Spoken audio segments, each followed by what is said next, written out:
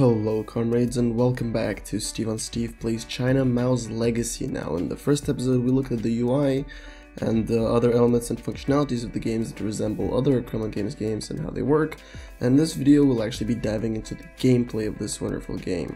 So yes, let's not waste any time and get right on with it.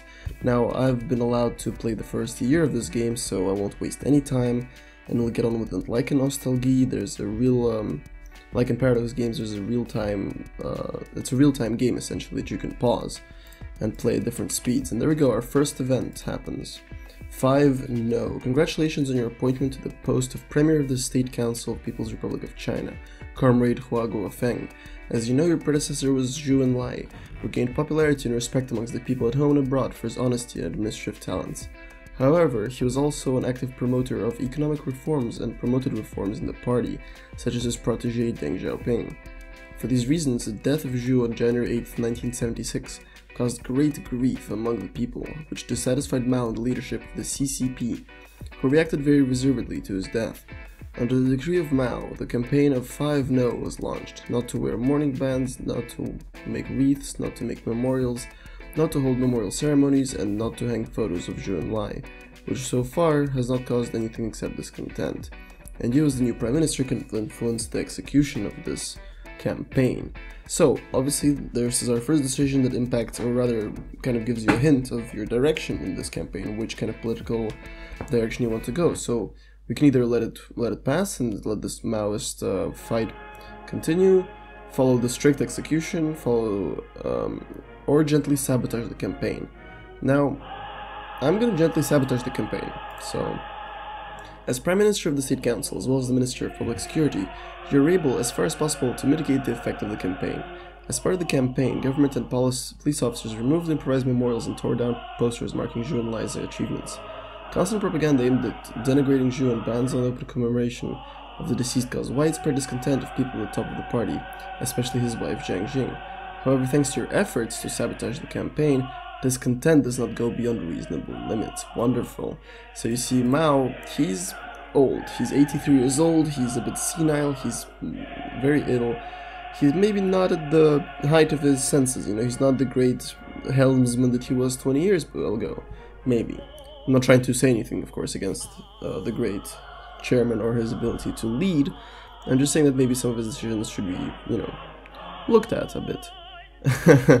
yeah, but anyway, we've got a few. He's only got a few live uh, months left, so. Hmm. And straight away, her second event. Criticize Deng and fight with right. So, the death of Zhou Enlai, a lot of the early game events are around Zhou Enlai, seriously affected the position of his protege Deng Xiaoping, who was left without the patronage of the former prime minister. He is now under constant attack by the radicals headed by Mao Zedong's wife, Zhang Jing. I'm probably butchering that and on February 2nd, Xiaoping was transferred to work in the fields of external relations. With the permission of Mao Zedong and her supporters, they managed to launch a campaign, criticize Deng, and fight with right, and begin an active persecution of Dan in the media. Dan? Okay, maybe Deng. It is noteworthy that although Mao treats Xiaoping with disbelief, he's not yet participating in this persecution. And what should we do, given that Hua Guofeng has never been on good terms with either Jiang Jing or Xiaoping?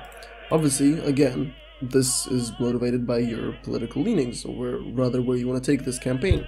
So, let them fight each other basically, stand up for Xiaoping, or join Xiaoping's persecution. So obviously if you want to go market reforms, you support Xiaoping.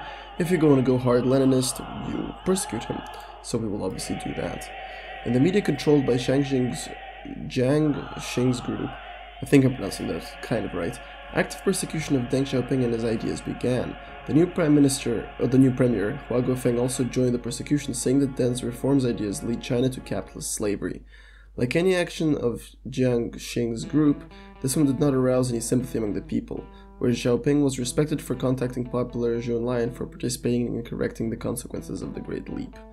Provincial party committees also joined the criticism of Xiaoping soon after Mao issued a directive on March 3rd, confirming the legitimacy of the Cultural Revolution and noting that Deng Xiaoping is the internal problem of the country. Right, so let's look at politics a bit, and yes, Deng Xiaoping is still at the very bottom. There'll be a lot of events that he'll try to push up the uh, ladders of power, but we gotta keep him in check. Um, now, in the first few months, these bars are to change a bit. There's to be a lot of calculations going on with depending on your decisions. So you just don't want to mess with that. Obviously, you don't have a lot of money at the beginning because, you know, life. Um, and yes, uh, so far the game is not finished. Obviously, they've they've been very clear on that. It's an early access. Oh, it's not even an early access. I was just very lucky to get a key, and I'm very grateful for that. But yes, there's just there's not a lot of uh, diplomacy decisions. It's focused mainly on the internal affairs of China, at least for the first year of the game where Mao is still in charge, which obviously makes sense. So our next event, elections in Thailand. Oh, I don't really care about Thailand. After the fall of the junta in 1973, uh, the victories of the communists, uh, maybe this is our chance, if not lure away or at least to destabilize Indochina. Um,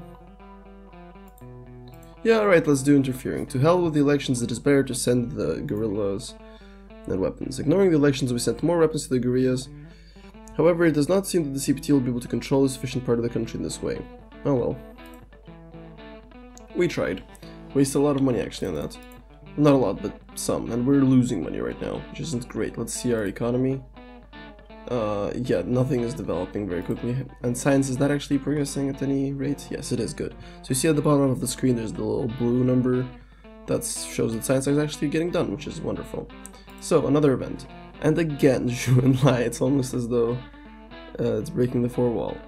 On March 25th, 76, an article was published in the Shanghai newspaper, okay, Wen Hui Bao, okay, that's in which the late Zhou Enlai was counted among the capitalist roaders, ooh, supporters of the capitalist path. The material appeared at the direction of the head of the Shanghai Party organization, Ch Zhang Chunqiao. Man, these names, I will never be able to pronounce them. Jiang Qing's closest associate. The article also sharply criticizes both Deng Xiaoping and his reform ideas. This article is actually for the first time publicly accusing Zhu of sympathizing with capitalism, and it is not known how the people will react to it. Dude, that's awesome. We will support the thesis of this article and distribute them, although I'm pretty sure that this will cause discontent, so withdraw material and prohibit its publication is what I'm gonna do. Because of the enormous power as head of the administration, the article, despite our attempts to seize it, still linked to the people, but your actions allowed to, to delay and impede the dissemination. It is precisely because of this that the scale of the protests of the people who took the article as an insult to the deceased uh, is not as big as it could be. So yeah, if you pick the other options, there will be massive riots, and that will, not riots, but massive protests, that will decrease support of the people. Which obviously you don't want to decrease the support of the people, because, you know, they hold up your country. The soundtrack in this game is pretty sexy.